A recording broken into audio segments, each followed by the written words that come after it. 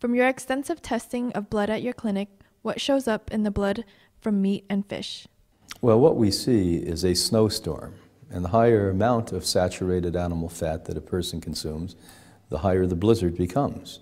And that blizzard impairs the cells. As an example, diabetes, which is growing at a shockingly alarming rate now globally, uh, is caused primarily first not by sugar, but by fat smothering the healthy red blood cells. And when the red blood cell cannot uptake nutrients and oxygen, the pancreatic function starts to be impaired, and then the sugar starts to elevate blood. What blood sugar means is exactly what it says. You have sugar in the blood versus in the cell where it's used as a fuel. Uh, even the typical vegan diet or vegetarian diet today has abnormal amounts of sugar in it. Uh, even fruits provide abnormal amounts of sugar because of the hybridization over the generations. And that hybridization has been for one purpose to create sweeter and sweeter fruits, which are certainly more marketable. So we've got to look at the kind of food we eat and how we eat it. But at the end of the day, when you look at a meat eater's uh, blood versus a vegan, it is a shocking difference. You actually can go back historically, which we do in microscopic testing.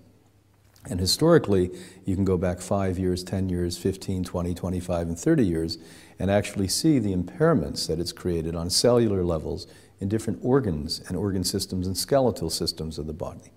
And the higher amount of meat that a person consumes, in my diet as an example, when I began all of this almost 40 years ago, uh, my diet was primarily a meat and dairy diet.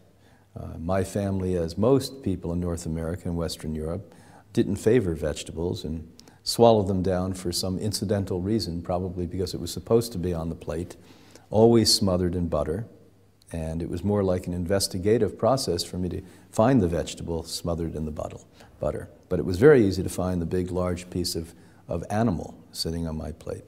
When I first became a vegetarian and then a vegan, uh, I was actually considered by my family to be potentially mentally disturbed. That's how well ingrained the meat and dairy industry has been in teaching not only your generation and my generation, but my parents and my great grandparents and grandparents' generation, the importance of consuming this vile matter. Uh, the human body is not built in any way to take this. So the result is that in blood profiles, and we do three forms of testing when people come to Hippocrates, not only the microscopic, which is the most revealing to the point we're asking here, but also a medical blood test.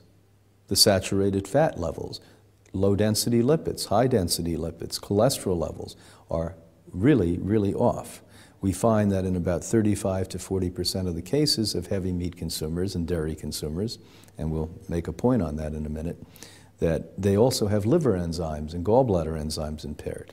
Now that's a, a very high percentage when you think it's a third or more of the people that not only impair the arterial walls and the organ systems of the body with this excess waste and fat, but now we're actually destroying the liver that filters blood and the gallbladder which filters fat.